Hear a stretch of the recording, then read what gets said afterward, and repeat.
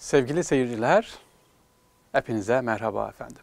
İstanbul'la ilgili bilmediklerimizi öğrenmeye devam ediyoruz. Değerli dinleyiciler, İstanbul'da Eminönü'nde bir Zindan Han diye yerimiz var. Pembe binadır, büyükçe bir bina. Evet bu binanın arka tarafında bir kule var efendim. Bizans'tan kalan Haliç surlarının elimizde kalan tek kulesi bu. Evet burada. Sevgili dinleyiciler, sevgili izleyiciler buraya girdiğiniz zaman ne göreceğiz biz burada? Orada bir türbe var. Daha doğrusu Zindan Han'ın o kulenin içine girdiğiniz zaman kapısı var orada. içine giriş serbest.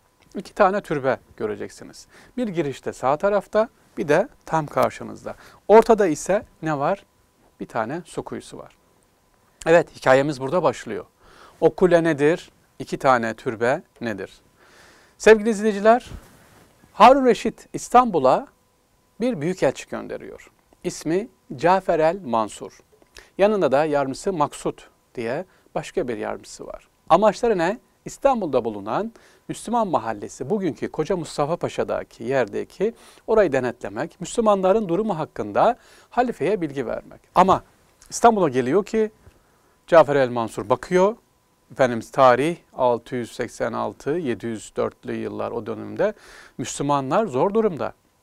Hatta bir kavga olmuş, ölen Müslümanların cenazeleri sokakta kalmış, defnedilmemiş. Müslüman mezarlığına defnedilmemiş. İşte buna karşı imparatora sert çıkıyor, direktif veriyor. İmparator da sinirleniyor. Efendim bunu bugünkü Eminönü'ndeki o zindan hana attırıyor. Ve onda bazı hareketler görüyor. Bazı Allah'ın vermiş olduğu ikramlar görüyor. Evliya Çelebi bunu anlatır. Diyor ki zindancı onu eli zincirlediği halde bir müddet bakıyor ki abdest alıyor. Zincir açıkla, açılmış. Ve tekrar bak zincirliyor. Namaz vakti tekrar açılıyor. Bunun üzerine zindancı da Müslüman oluyor ve Ali ismini alıyor. Evet, imparator bunu öğrenir de durur mu ne yapacak? Bu sefer Bizans'ın yaptığı her zaman başvurduğu bir oyun. Nedir o? Zehirleme. İkisini de zehirletiyor. İşte Cafer el Mansur, diğeri de Ali Baba. Efendim ilk burada yatıyor. Girişte biri sağda, biri solda. Cafer el Mansur, baba Cafer diye geçer. Burası niye önemli sevgili dinleyiciler? Gittiğiniz zaman tavsiye ederim. Evliya Çelebi diyor ki çocuklarınızı, ilk doğan çocuklarınızı buraya götürün diyor. Çocuklarınızı mutlaka bir kere oraya götürün. Niye? Bir, kemik hastalıklarına o su iyi gelir diyor. Bu bir. İkincisi, eğer çocuğunuz yeni doğdu, çabuk yürüsün, çabuk kolay konuşsun diyorsanız buraya götürün diyor.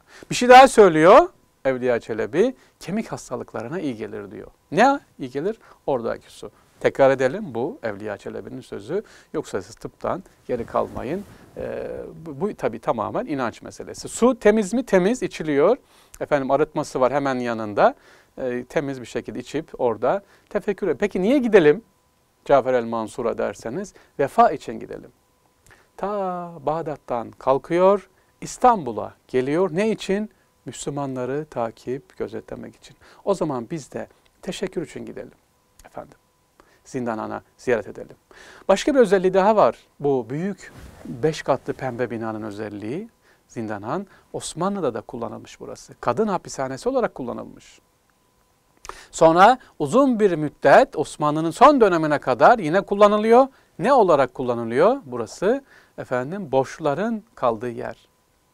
Özellikle para borcu olanların kaldığı yer burası kullanılıyor.